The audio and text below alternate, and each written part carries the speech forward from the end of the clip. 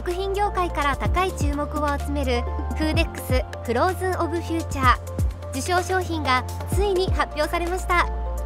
今日は私たちがイオンスタイル幕張新都心店よりバイヤーと消費者が選んだグランプリ受賞商品をご紹介いたします。イオンリテール食品本部デイリーフーズ商品部部長の青木育夫さんに来ていただきました。青木さんはイベントの名称も変わりまたメーカー各社から本当に多くの商品がエントリーされましたね。そうですね。フローズンフードの売り上げも好調で各メーカーも続々と新商品を投入しています。またベンチャーイノベーション部門が新設され大手メーカーからベンチャーまでフローズンフードがとても盛り上がっていますね。そうですね。どんな商品がグランプリに輝いたのか気になりますよね。早速ご紹介してまいりましょう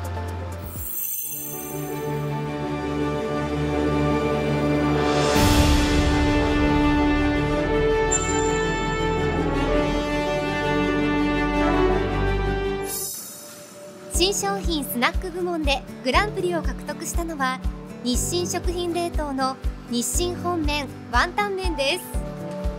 つるっと張りのある麺にあっさり醤油スープがしみるワンタン麺。レンジ調理で簡単に茹でたてのような本格的な麺が楽しめます。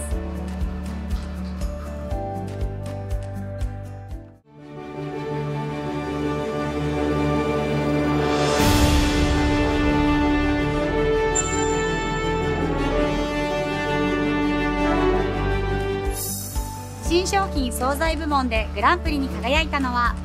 イートフーズ大阪王将極みの大粒肉餃子です。牛肉のコクと豚肉の旨味が絶品です。名前の通り大粒で食べ応えも抜群の餃子です。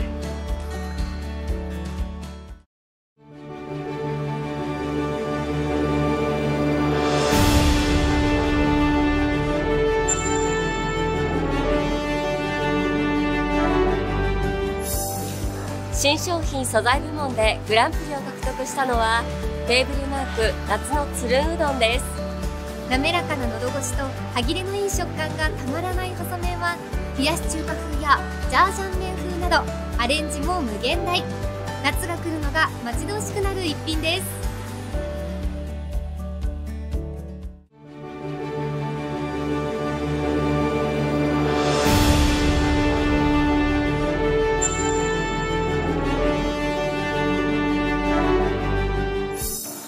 て新商品スイーツ部門のグランプリはハーゲンダッツジャパンのミニカップスプーンクラッシュあふれるベリーバニラマカデミアです。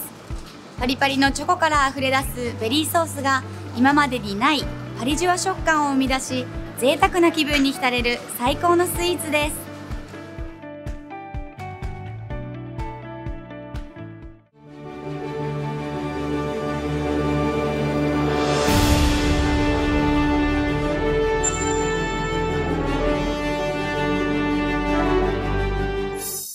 ヘルスウェルネス部門でグランプリを受賞したのは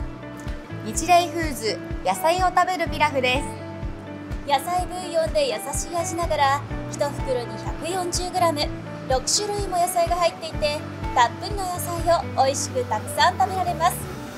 常にストックしておきたい商品ですね。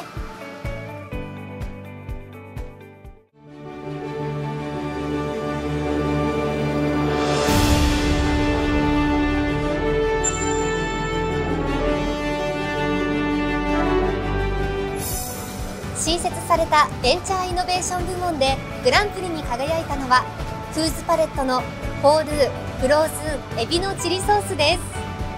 プリップリのエビが甘酸っぱさと辛さの加減が絶妙のチリソースと絡み最高に美味しいエビチリです。化学調味料保存料着色料などを使っていないので素材本来の味が楽しめます。